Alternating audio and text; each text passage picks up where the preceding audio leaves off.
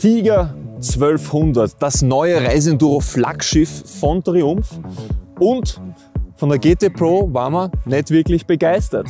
Aber es gibt Hoffnung und dieser nun erste wirklich umfangreiche Test der Tiger 1200 Rally Pro ähm, lässt die Hoffnung wieder aufleben. Schon bei der 900er Variante hat uns die Rally-Version besser gefallen. Wird es auf der großen Plattform genauso sein?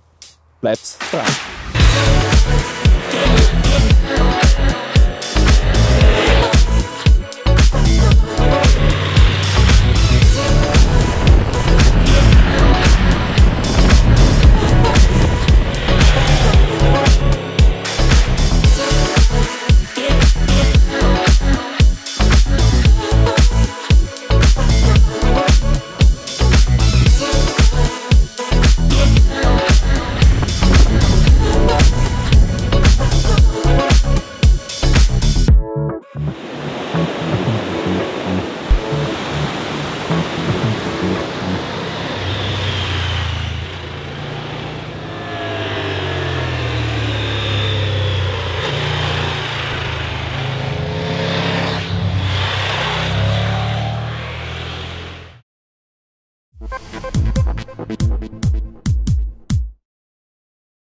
Wir begrüßen euch aus einem schönen Wald nahe des Reschensees, den man hinten noch ein bisschen durchglitzern sieht. Äh, von unserer, ich würde sagen, Saisonabschlussreise äh, von Wiener Neustadt über Kärnten bis ins nordwestliche Südtirol und wieder zurück. Ähm, wir haben uns einfach unsere Dauertesterinnen geschnappt um noch einmal ihnen auf den Zahn zu füllen und auch so ein Saisonfazitabschluss zu geben. Und eben vor kurzem haben wir unseren Halbsaison dauert es da, sage ich mal, die Tiger 1200 GT Pro eingetauscht gegen die 1200er Rally Pro. Und deswegen eben jetzt ganz spannend die Frage im Vergleich auch zur GT Pro, wie gut gefällt uns ähm, die Rallye-Variante und jetzt Valentin. Ähm, ich habe es vorher schon angeteasert. So ganz überzeugt war man nicht an der GT Pro. Deswegen jetzt vielleicht in der Kurzfassung, damit die Leute, die das Video nicht gesehen haben oder unsere Testvideos dazu nicht gesehen haben, was ihr aber euch unbedingt natürlich anschauen solltet. Aber Kurzfassung, was waren denn so unsere Problemchen mit der GT Pro? Ja, es waren ein paar Probleme, die ich fürchte sich hier wiederfinden, ähm, nämlich Ansprechverhalten des Motors im unteren Bereich der Kadern, der Quickshifter, der nicht 100% sauber ist. Solche Geschichten, die eben ident sind auf der 1200. Es waren aber auch Sachen dabei, wie äh, ein bisschen träges Einlenkverhalten und eben nicht diese ganz letzte Spritzigkeit. Und vor allem die ähm, nicht wirklich ausgeprägte Schräglangfreiheit, wo jetzt dieses mehr an äh, Federweg und mehr an Bodenfreiheit ein bisschen Grund zur Hoffnung gibt. Also ich glaube, es wird spannend.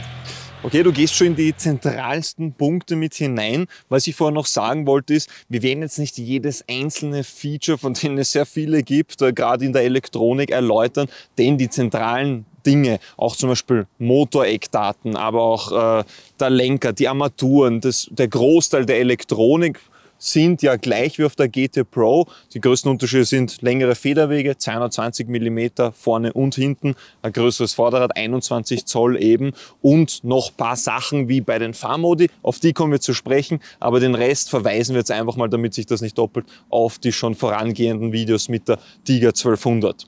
So, jetzt, du hast gesagt, ähm, manche Sachen sind gleich noch, manche sind äh, besser geworden. Fangen wir vielleicht einmal so an, dass wir sagen, was ist denn jetzt, was hat sie mehr vielleicht als die GT Pro? Ähm, gerade Fahrmodi zum Beispiel, wenn wir bei genau. Elektronik sind. Ja, also mehr Ausstattung hinsichtlich Offroad, weil das ist ja auch die Offroad-tauglichere Variante, eigentlich die Offroad-tauglichste, die Triumph im Programm hat. Wir haben zwei Fahrmodi, also wir haben zwei Offroad-Fahrmodi, der andere hat auch einen Offroad-Fahrmodus, aber hier haben wir den Offroad Pro-Modus. Der ist mir eben erlaubt, ABS komplett abzuschalten. Der ist mir erlaubt, die Traktionskontrolle frei zu regeln. Also quasi ein eigener Offroad-Rider-Modus, der eben ein bisschen mehr die Elektronik zurücknimmt. Und ähm, für uns, glaube ich, ein Vorteil ist auch die höhere Sitzhöhe. Also ich fühle mich auf der noch wohler. Wir können sie in einer niedrigen Position fahren und das passt super. Wir können sie auch in der hohen Position fahren. Das ist mir dann beim dynamisch fahren fast noch ein bisschen lieber, mhm. aber dann wird sie verdammt hoch. Wir haben eine ja. Sitzhöhe von 895 mm in der hohen Position, plus so ganz mega schmal ist sie nicht. Also das ist dann echt so, dass selbst ich mit relativ langen Haxen und 1,87 nur noch mit den Zehenspitzen gleichzeitig runterkomme oder halt mit einem Voll und mit der anderen mit den Spitzen. Also es ist dann schon wirklich was für große Leute und schließt vielleicht auch kleinere Leute aus. Also es sollen Hopperlas passiert sein, wo vielleicht ähm, der ein oder andere Haxen zu kurz war. Ähm, insofern für kleine Personen wirklich jetzt hier auch gleich meine Empfehlung zur 19 Zoll Variante greifen. Äh, bei der GT Pro haben wir die Probleme echt nicht gehabt. Die ist wirklich sehr schön niedrig und das schließt hier ein paar Leute aus. Ist aber sozusagen aus fahrdynamischer Sicht und ich glaube in Offroad sowieso aufgrund der längeren Federwege sicher die bessere Wahl für Leute, die das interessiert. Genau, das war ja bei uns so, ähm, wir sind vielleicht auch damit die Leute es einschätzen können auf unseren Reisen. Ähm, wir versuchen immer unsere Routen so zu wählen, dass wir ein realistisches, äh, einen realistischen Einsatzbereich haben. Das heißt, bisschen Autobahn, wir hatten zuerst eine Autobahnanfahrt, S6 bei uns, ähm, dann ging's mal auf bisschen breiteren Straßen, mal auf bisschen engeren, ähm, runter nach Kärnten und dann hatten wir auch teilweise etwas monotonere Fahrten durch sehr viele Ortsgebiete. Das Tal der Tränen haben wir es getauft. Die sehr eintönige Fahrt nach Meran. Und das soll äh, alles so ein bisschen einen realistischen Einsatz simulieren. Wenn wir aber, dann fahren, sind wir doch auch mal recht flott unterwegs. Also ich glaube, um es einzugliedern, würde ich sagen, ähm, sportliches Reisen könnte man das nennen. Und da war es dann eben so, bei diesem sportlichen Reisen mit der GT Pro ist halt sehr schnell Ende Gelände gewesen. Gerade noch durch die eher komfortablere ähm, Fahrwerksabstimmung, wo sie dann wirklich auch in die Knie gegangen ist, bisschen, wenn man sie mal mit mehr Druck in die Kurve gelegt hat. Und dann ist man, war man gleich mit den Fußrasten am Boden. Und das ist hier aber nicht so passiert. Wir haben noch immer ein semi-aktives Showa-Fahrwerk, äh, aber eben mehr Federwege, dadurch wird sie höher, hat mehr Platz einfach auch und ich habe schon noch das Gefühl, dass im Sportmodus, ähm, dass das bisschen knackiger vielleicht noch war und deswegen ist es mir hier eigentlich nicht oder kaum gelungen, dass ich da mir denke, na jetzt, äh, jetzt stehe ich aber an. Das hat wirklich gut gepasst. Wie ging es dir damit? Eigentlich sehr ähnlich. Ähm was gleiches wie bei der GT Pro ist ja diese herrliche Bremsanlage, also Brembo, Stylema, 330er oder 320, 320. 320 mm Doppelscheibe vorne. Das beißt echt brutal zu. Das elektronische Fahrwerk macht es aber gut. Also die extra Federweg spürt man beim Eintauchen nicht besonders stark. Ähm, und wie soll ich sagen, diese mehr Bodenfreiheit lässt jetzt diese Art an dynamischer Bewegungs ähm, Art, diese dynamische Bewegungsart zu, die zu dem Motorrad passt. Also die GT Pro hat da einfach ein Limit gesetzt zu früh und da sind wir jetzt echt genau schön ausgewogen. Insofern Rally Pro trifft das wieder ein bisschen besser. Was bei der Dynamik natürlich auch stark geholfen hat, ist, dass wir den neuen Metzler Tourings Next 2 aufgeschnallt haben. Ein 90-10er Reifen, es ist jetzt doch Herbst, wir machen sozusagen diese Saisonabschlusstour. Wir waren aber auch am Stilfrioch oben auf 2760 Meter. Da ist es natürlich schweinekalt. Der hat kurze Aufwärmzeit, das hilft. Ähm, und Nässe haben wir auch schon mitgemacht. Also insofern ist das sicher einer der Reifen, der das dynamische Fahren auf jeden Fall unterstützt. Und auch da natürlich seinem Vorgänger, dem Tourins Next, der normalerweise Erstausrüstung auf der GT Pro ist, sicher weit überlegen ist. Ähm, das gesagt, vielleicht noch kurz Stilfsee auch, wie sind wir dorthin kommen. Wir haben uns wieder mal bei den Mohos umgeschaut und sind im Moho Paradies und der Name ist Programm, kann man sagen, wirklich ein tip-top Vier-Sterne-Hotel im Winter sicher auch toll zum Skifahren, weil es direkt im, am Fuße des Ortlers in Sulden liegt. Also aus dem Schwimmbad hat man einen Panoramablick auf den Berg und äh, das Essen ist ausgezeichnet, wirklich also Moho Deluxe kann man sagen. Parkgarage fürs Motorrad sowieso. Ähm und wenn man sich dann aufs Motorrad setzt, dauert es, weiß nicht, fünf Minuten, zehn Minuten oder so und man kommt schon auf die, aufs Stilfser Joch hin. Genau. Also es ist wirklich top gelegen. Und jetzt, wenn wir schon Stilfser Joch reden, äh, drüber reden, das ist ja schon irgendwie, haben wir zumindest gesagt, der Endgegner der Pässe, zumindest was Kehren angeht. Ich meine, auf YouTube muss man nur eingeben, da gibt's ja endlos die Fail-Compilations, weil das halt echt extrem eng ist, gleichzeitig stark befahren, ein sehr, sehr beliebter Pass. Und da passiert es dann recht häufig Motorradfahrern, ähm, dass sie die Fahrlinie nicht richtig wählen. Es kommt ihnen gerade an der blödsten Stelle was entgegen und schon wird man zu langsam, kann das oft schwere Motorrad vielleicht nicht halten und schon liegt Ist uns ja. auch so gegangen. Teilweise kommst du runter die Kehre, da liegen links, rechts die Motorradeln. Ist so. Ähm, also das, wirklich innerhalb von fünf Minuten haben wir ja. zwei Stürze in der gleichen Kurve gesehen. Ja. Und was halt auch arg ist, in der Früh gibt es Schwerverkehr da drauf, weil es halt doch eine Hauptverkehrsverbindung ist.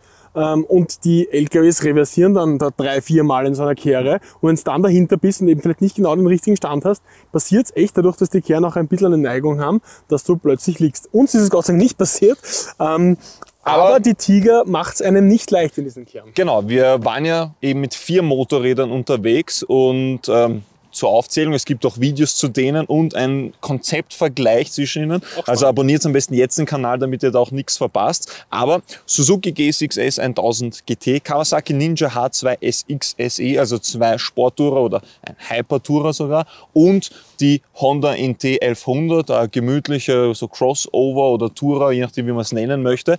Und von diesen vieren hatte ich auch das Gefühl, dass es mit der Tiger am anspruchsvollsten war, um dieses ganz engen Kern zu fahren. Nämlich erstens eben wir haben sie gewogen, voll getankt, aber schon mit, also ohne Koffer natürlich, aber mit der Vorbereitung ähm, für die Koffer der Kofferaufnahme und sind kommen auf 256 Kilogramm.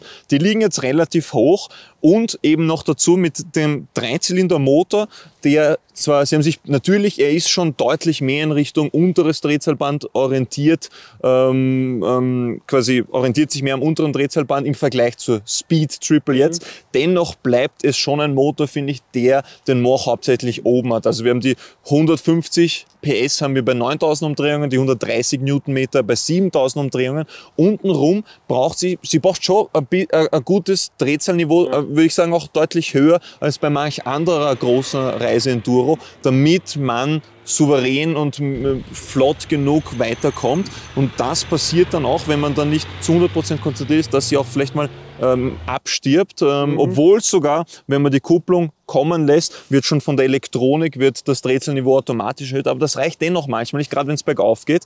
Das heißt, man hat diese Masse, die relativ etwas kippelig auf diesen langen Beinen steht, muss sie eng in die Kehre drücken. Von der Sitzposition ist das ja gelingt das super über diesen breiten Lenker. Aber wenn man dann eben nicht schon wirklich das Kupplungsspiel und diesen, dieses, diesen erhöhten Drehzahlbedarf im Gefühl hat, dann kann es eben wirklich nicht so leicht werden, dass man diese Fahrlinie sauber trifft, schön die enge Kehre zu Ende fährt, sondern da hatte ich auch selber das Gefühl, es ist mir Gott sei Dank nie passiert, dass sie da abgestorben wäre, aber ich konnte wirklich gut nachvollziehen, dass wenn man vielleicht nicht der übertrieben versierte Pilot ist, gerade dieses enge Kernfahren ist ja doch irgendwie was Eigenes, dass da Leute, äh, dass das schon anspruchsvoll sein kann für Leute. Und ich sehe auch die Tiger, das ist so ein Motorrad von der Charakteristik her, die könnte sich öfter in so einer Fail-Compilation vom Stilfsei auch wiederfinden. Ja, wobei ich sagen muss, ich bin rauffahren hinter dir auf dem anderen Motorrad und du hast mir genau das über die Tiger berichtet und dann haben wir tauscht und ich wollte mir das anschauen und runter und fahre und denke mir, Gregor, das ist, das ist lächerlich, ur-easy passt super. Mega Einschlag, breiter Lenker, mhm. alle Voraussetzungen da. Ja, beim Runterfahren haben wir natürlich einfach ohne Gas, ähm, Schiebebetrieb, Hinterradbremse, vielleicht mit der Kupplung sogar einen ganz engen Kern. Ähm, und sobald ich dann unten umdreht habe und rauf, bei der ersten rechts, die ganz eng war, diese Kehre, und dachte, puh, jetzt kommt der Moment, wo der Affe ins Wasser springt. Also da war es wirklich eng und ich habe dann echt dem Fuß runtersteigen müssen, um einen Sturz zu verhindern. Und was du gesagt hast, stimmt, der Motor will sozusagen aus dem Drehzahlkeller gebeten werden. Also der ist nicht von unten gleich voll da, sondern braucht diese drei, dreieinhalbtausend Touren. Da zieht er dann wirklich schön hoch und hat ein elastisches, ähm, sich aufbauendes Drehmoment, weit nutzbares Drehzahlband. Das ist alles super schön, aber diese ersten 3000 Touren sind eben, und ich glaube, aufgrund zweier Sachen. Zum einen der Kadern, der dieses ganz smoothe ähm, Einkuppeln schwerer macht und zum anderen der Hubzapfenversatz, den sie diesem Dreizylinder verpasst haben, ähm, der in so ein bisschen eher Richtung V2 ähm, vom Klang her und vom, vom Benehmen her trimmen soll, der macht diesen unrunden Motorlauf, der mir aber eigentlich gar nicht zusagt. Ich hätte am liebsten den Speed Triple Dreizylinder der so super seidig ist, von unten bis oben ohne Hubzapfenversatz. Und du musst dann ein bisschen mehr drehen, okay, aber unten ähm, weiß ich dafür auch ganz genau, was er macht und hat nicht diese Eigenart. Aber so ist es eben und natürlich hat der Kader noch Vorteile, muss man sagen. Also Kette schmieren haben wir bei allen anderen müssen. Bei der Triumph fast Regen, äh, Schnee, wurscht. Du fährst einfach mal ganz entspannt, brauchst nicht äh, mühsam dich um die äh, Kette und das entsprechende Ölen kümmern. Genau. Alles hat seine Vor- und Nachteile und ich finde ja, es ist ja gerade jetzt hier so die Rally Pro, wirklich souveränes Motorrad, ein typischer Reiseenduro, würde ich fast sagen, wie es im Buch steht, von der Sitzposition her, wie sie sich auch bewegen lässt. Ähm, aber eben der Motor, der, Mo der Motorlauf ist eben nicht ganz optimal, aber auch eben nur, finde ich, bei den sehr niedrigen Geschwindigkeiten. Man hat doch relativ starke Lastwechsel unterhalb der 2500, 2300 bis 2500 Umdrehungen da darunter. Ist, egal wie sanft man das Gas hat und gerade eben am Stilfsee auch habe ich mich dann damit gespielt. Ich, selbst wenn man es ganz sanft anlegt, es gibt einen Ruck. Deswegen habe ich dann oft die Kupplung mitverwendet, weil das sich dann einfach besser anfühlt, einfach ja. ähm, souveräner anfühlt. Sobald man aber diesen ruppigen, diesen, diesen bisschen unrunden Anfangsbereich verlassen hat, finde ich, zieht er sauber hoch, ist aber jetzt gerade, wenn wir es vergleichen, es spielt ja doch in der Oberliga der Reiseenduros mit, da, ähm, ich würde sagen, wie ich schon gesagt habe, die Reiseenduro aus dem Bilderbuch, vom Windschutz her, der super funktioniert, Elektronik, State of the Art, die Federwege passt voll. Ähm, es ist eine gute Reisenduro, aber es fehlt dir meiner Meinung nach so ein bisschen der Wow-Faktor oder dieses Alleinstellungsmerkmal, was aber dann doch alle anderen Reiseenduros dieser Oberklasse vorweisen können. Die Super Adventure hat den unfassbaren äh, druckvollen 1290er ja. Motor. Die GS, die Drehmomentkeule von unten raus und diese Zugänglichkeit. Die Multistrada, dieses extrem hochwertige Fahrwerk, das agile Fahrverhalten und der Motor, der oben raus explodiert. Und die Triumph, die Tiger 1200, kann alles, aber hat eben nicht so, wo man so ist, bis deppert, unglaublich, sondern sie funktioniert halt einfach und hat dann noch an manchen Stellen, sage ich mal, ein paar so Kinderkrankheiten. Es ist ja doch die erste die erste, das erste Baujahr der neuen ja. Tiger 1200. Deswegen hoffe ich einfach, dass sie gerade diesen Motorlauf noch ein bisschen verfeinern werden und, und dass sie dann ab nächstem Jahr oder ab dem nächsten Modelljahr, ähm, dass sie dann wirklich auch äh, komplett sich entfalten kann. Gut, du hast jetzt schon angesprochen, Reisetauglichkeit ist natürlich vorhanden. Es ist auch, finde ich, das beste Reisemotorrad von Triumph. Ähm, 900er ist fast überall genauso gut, aber ihr geht halt die Kraft dann irgendwann mhm. aus zu zweit. Haben wir übrigens auch ein Video gemacht. Der Max und ich haben uns da die beiden im Vergleich angeschaut. Für, für wen das von Interesse ist, sehr gerne einfach eintippen und schauen. Ähm, wir haben hier aber trotzdem ein gutes, ähm, also wie gesagt, die beste Triumph-Reisenduro finde ich, weil Zuladung passt einfach 222 Kilo. Wir haben hier die Adventure Look äh, Seitenkoffer. Da geht jetzt kein Helm rein oder so, aber wir haben für eine Woche gepackt. Das war super easy. Und was mir immer taugt, Toploader heißt von oben zu bedienen. Du sagst, halst die Sachen rein. Wir haben jetzt auch Stativ drin gehabt und die Drohne und so weiter. Das ist einfach sehr angenehm und passt natürlich auch optisch zu dem äh, Adventure-Look sehr gut. Ähm, ansonsten vielleicht noch Sozius. Überhaupt Ergonomie haben wir schon gesagt, für große Leute passt es gut. Mir ist auch mit dir hinten drauf irgendwie nichts abgegangen. Du warst da gut positioniert am Sozius. Und ähm, ja, wie ist es denn dir hinten gegangen? es funktioniert einfach, so wie, wie das ganze Motorrad. Ausreichend Platz, würde ich sagen, nicht übertrieben viel. Ähm, und man hat aber auch Griffe schön zum Anhalten. Der Tank ist etwas weit weg, also ein bisschen kürzeren Armen kommt man da schon schwerer hin. Das heißt, bei harten Bremsmanövern lastet das Gewicht vom Sozius schon eher am Fahrer. Nichtsdestotrotz haut hin, gerade so mit den Koffern. Es gäbe ja auch noch ein, ein Topcase dazu. Ähm, also man kann absolut große äh, und lange Touren auch zu zweit damit machen, auch mit dem semi-aktiven Fahrwerk, was man unterwegs die Vorspannung einfach verstellen kann. Auch sehr praktisch. Man hat eine Sitzheizung und gleich unterm Sozius-Sitz. Aufpreispflichtig, aber das ist leider nicht serienmäßig dabei. Griffheizung ja, Sitzheizung nein. Das bieten dann erste Explorer-Modelle, also die ganz dicken Schiffe. Genau. Ja, auch hier ähm, so Totwinkelassistent hat man jetzt auch noch bei den Explorern. Ähm, aber ich habe das jetzt überhaupt nicht ja. vermisst. Das Elektronikpaket ist auch mehr als umfangreich Tutto genug, completo. würde ich sagen. Tutto completo quasi. Das Display, habe ich mir nur gedacht, das können manche Motorrad besser, dass sie einfach mehr Informationen anzeigen können. Ja. Ähm, und auch halt, dass die Animation im Display so laggt. Ja. Äh, das ist auch, aber das ist halt echt jetzt schon Jammern auf hohem Niveau. Und darüber sieht man dann relativ schnell hinweg. So, es ja. fängt gerade an zum Regnen. Das ist halt so September in den Alpen, da ja. geht's wechselhaft so dahin. Deswegen würde ich sagen, kommen wir zum Schluss, bevor wir hier waschelnass werden. Ah, Reichweite, ganz wichtig Reichweite. beim Fahren, äh, beim Reisen haben wir nämlich selber nachgemessen. Wir haben hier einen 20 Liter Tank ähm, und wir wissen selber noch nicht genau, wie viel wir jetzt verbraucht haben, weil wir einen Durchschnitt berechnen werden auf die ganze Reise. Ähm, 5,1 Liter, glaube ich, ist Werksangabe. Was wir jetzt gemessen haben, bei, wie gesagt, ähm, sportlichen Reisen, ja. ähm, aber noch in einem realistischen Ausmaß, würde ich sagen. Das blenden wir jetzt ein. Ja, kaum zu glauben, so viel hat die Tiger bei uns gebraucht. Ich glaube, sie verbraucht schon etwas mehr auch als die Konkurrenz jetzt, weil sie eben dieses gehobene Ja, als Drehzahlniveau hat, wenn man die Multistrada Multistrada- V4 außen vor lässt natürlich. Ähm, ja, genau. Also Bocky, jetzt nach einer Saison, zuerst mit der GT Pro, jetzt mit der Rally Pro, ein circa, wie viel werden wir fahren am Ende der Tour? 1600, 700 Kilometer, sowas in die Richtung. Sowas, eine nette Abschlussfahrt der Saison. Was ist dein persönliches Fazit zur Tiger 1200?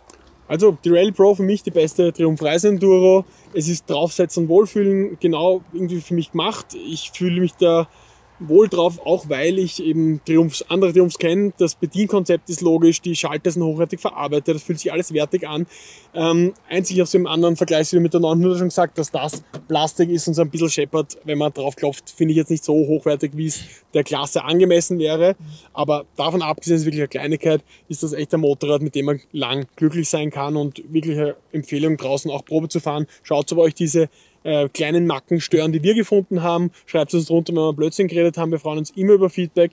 Ich bedanke mich bei unseren Kameraleuten, die euch diese Tiger so schön präsentieren, wie wir es nicht könnten und euch damit ähm, hoffentlich etwas zum Freuen und zum Begeistern geben.